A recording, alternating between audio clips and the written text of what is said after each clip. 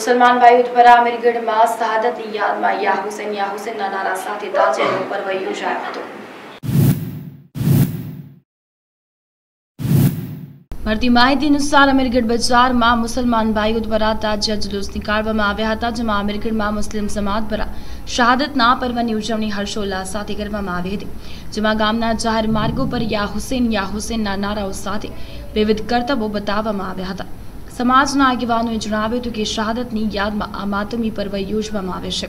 જેમાં દસ દિવસ સુધી અવનવા કાર્યક્રમ કરવામાં આવે છે અને દસમા દિવસે તાજાને ગામના જાહેર માર્ગ પર ફેરવ્યા બાદ ઈદગાહ ખાતે લઈ જઈ ઠંડા કરવામાં આવે છે. સતીશ રાણા સાથે ન્યૂઝ ગુજરાત ન્યૂઝ અમીરગઢ.